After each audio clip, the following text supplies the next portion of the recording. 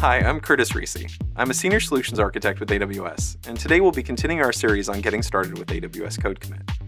If you missed our first video, which focused on configuring access permissions, you'll want to watch that video first. Otherwise, let's go ahead and dive in. For those of you unfamiliar with the service, AWS Code Commit is a secure, highly scalable, managed source control service that hosts private Git repositories. As a managed service, it eliminates the need for you to manage your own source control system or worry about scaling its infrastructure. You can store anything from code to binaries in it, and it supports the standard functionality of Git, so it works seamlessly with your existing Git-based tools. Let's go ahead and create our first code repository from the AWS Code Commit console. If this is your first repository, click the Get Started button. Otherwise, click the Create Repository button from the AWS Code Commit console.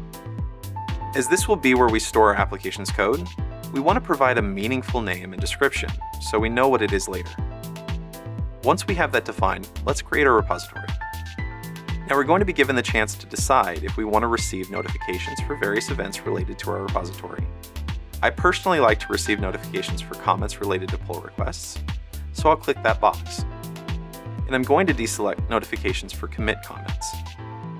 We also need to create an SNS topic, which will provide these notifications.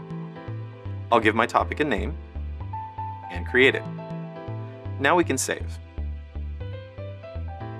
We now have an empty repository. Let's create a file. I'll click into our code repository, click the Add File dropdown, and choose Create File. This will show a basic text editor. I'll put some filler text, and scroll down to provide some commit details. I'll name the file test.txt, and provide my email address for the commit. I'll also add a comment for the commit, and click the Commit File button at the bottom. At this point, we have a functioning AWS Code Commit code repository. Great, so now what? Let's create and edit some files. In order to do that, we'll need to clone the repository to our local development environment. From the Code Commit console, I'll click into my new repository, and then the Connect button. This will show me instructions for how to clone based on the two connection options, HTTPS and SSH. I'm going to use the HTTPS option. As this is the first time I'm cloning an AWS Code Commit repository, it will ask me for the Git username and password for my user. In our previous video, I downloaded these credentials from the AWS IAM console. Let's copy and paste those from the CSV. I've now successfully cloned an empty repository. Now that we have our repository, let's create a new branch. And let's check out this branch. You'll notice this whole process is just standard Git on my local machine at this point. Using a text editor, let's create a README file for this project and add a project title and description. Now let's commit our changes. Here's what we need to do. We need to add them through Git, commit them with a comment, and push them to our origin.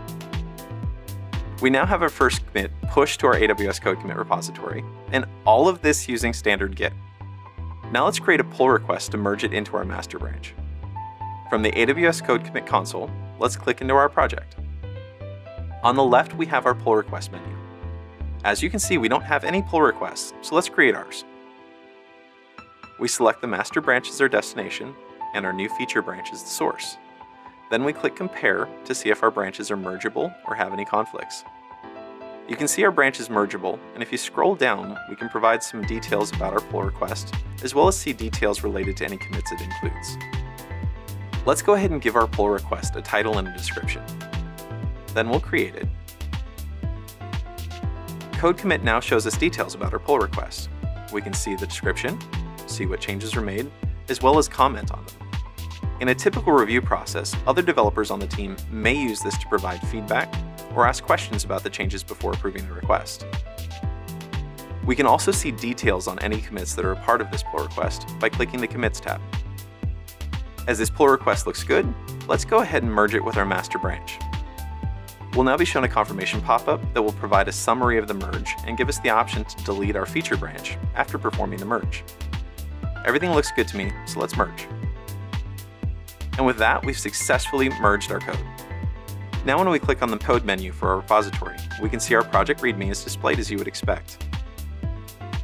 In less than five minutes, we were able to get up and running with our first code repository using AWS Code Commit. There's so much more you can do with it though. For more information, visit our website. Thanks for joining us.